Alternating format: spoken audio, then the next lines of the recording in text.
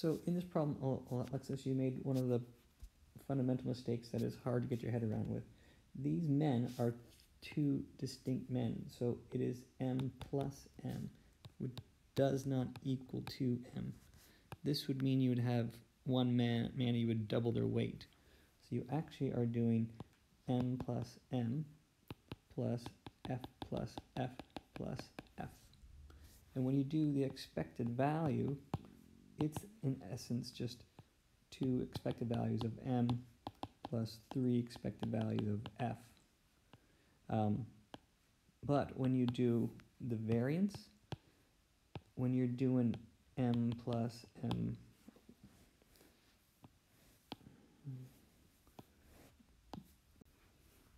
plus f plus f plus f, it's the variance of m plus the variance of m plus the variance of f plus the variance of f plus the variance of f.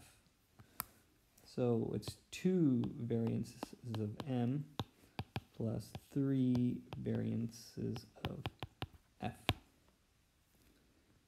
So that's why these values are not squared.